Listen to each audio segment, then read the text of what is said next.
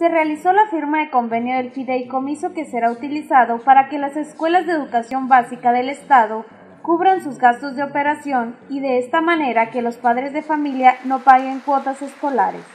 El gobernador Guillermo Padres encabezó la firma de un convenio de colaboración entre Estado y padres de familia que contempla una serie de compromisos en la Asociación Estatal de Padres de Familia y la creación del fideicomiso, al cual el gobierno del Estado aportará al menos 100 millones de pesos para cubrir las necesidades educativas.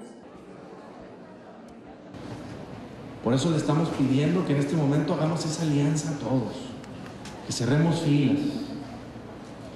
que nosotros iniciemos con una participación desde el gobierno del Estado para la subsistencia de nuestras escuelas, sin cuotas estudiantiles, pero que ustedes como padres de familia a través de actividades nos ayuden a complementar esos recursos que antes tenía que conseguir no sé cómo maestro y tenía que implementar cuotas para poder echarse ese compromiso. Ahora